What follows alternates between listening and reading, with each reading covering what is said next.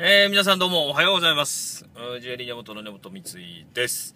えー、今日は8月の18日の日曜日でございます。皆さんいかがお過ごしでしょうかえー、僕の方はと言いますとですね、まあ今日は日曜日ですので、え、まあ通常の、通常の、まあ、日曜日になってるのかもしれないです。まあ、お盆休みのね、えー最終日の方も多いと思うんですけど、えーまあ今日はね、本当そういった部分では、もう切羽詰まった最後の日曜日という方もいらっしゃるんではないでしょうか。まあ僕の方は本当に普通の日曜日ということなので、まあお店がね、どういう風になってるか、まあお盆休みね、結構、あの、まあお客さん来店あったんですけど、結構普通よりは全然少なくって、やっぱりまあお盆休み中ね、宝石買うって人は少ないのかななんていうふうには思ったんですけど、まあそんなこんなで、まあ実はですね、あのー恐ろ、恐ろしい話というとか、あの、あれなんですけど、まあうちの実家の方でですね、まあ空き巣に入られたなんてね、えーまあお盆中に空き巣なんていうのもまああるんですね。まあ非常にまあ恐ろしいというか、話で、まあうちなんかもね、ちょっとしっかりしろよみたいな話になったんですけど、あのーまあね、防犯とかっていう部分で、まあ団地なもんですから、まあそういった部分では多分全国各地被害が多いですよね。最近ね。で、まあとりあえず 何にもなかったんで、で2回目だって話で、やっぱり1回目狙われると2回目？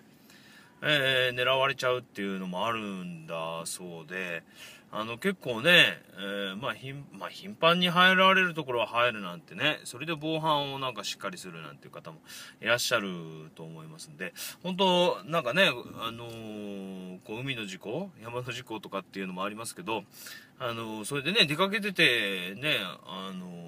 泥棒に入られちゃったなんてね、ほんと気持ち悪い話ですよね。まあ、何を取られても嫌なんですけど、まあ、一番ね、こう、誰かがこう入っちゃったみたいなね、話だってなんかちょっとね、赤の他人が知らない人が入っちゃったっていうのは気持ち悪いお話なので、まあ、ぜひ気をつけましょうと言ってもね、なかなか気をつけられないんですけど、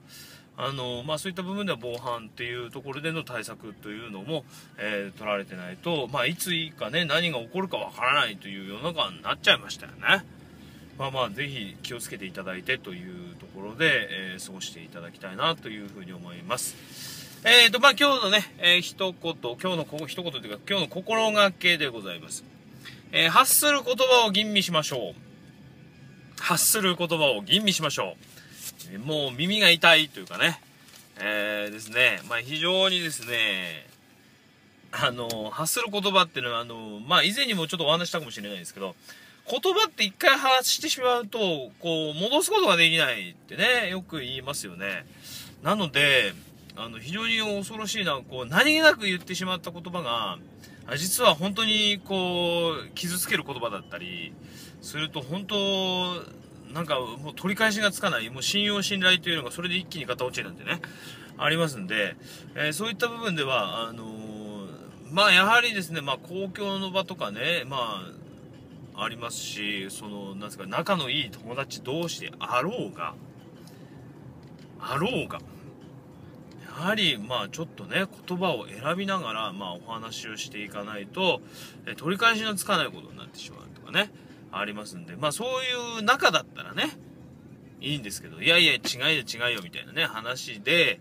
まあ、軽く流せるようなお話であればいいんですけど、そういう場面じゃない時についつい言葉が出てしまうなんてありますんで、ぜひですね、まあ言葉というのも大切、まあ言葉もね大切ですし、この態度というのも大切なんですけど、あの、ぜひですね、まあその一言、あの、自分ではこう、なんとも思ってないんですけど、人に逆、まあ人にね、あの、それは違うんじゃないのってね、あの、言われるケースな、まあ、自分の習慣が人と習慣と違うなんていうのもあるんで、まあ、難しいんですけど、あの、ぜひですね、まあ、そこら辺を、えー注意していただきながら、まあ、もうね、あのー相手を思いやるというか、相手にはどう伝わるのかなと思いながら、あまあ、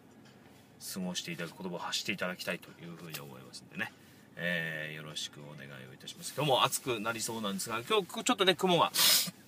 かなり多くかかってます。そういった部分ではね、えー、本当事故等に気をつけていただいて、えー、お過ごしいただきたいなと思います今日もですね、えー、皆さんにとって、えーまあ、素敵な一日キラキラとしたですね宝石に負けないような一日になっていただければなというふうに思いますでは今日も一日スタートですよろしくお願いいたします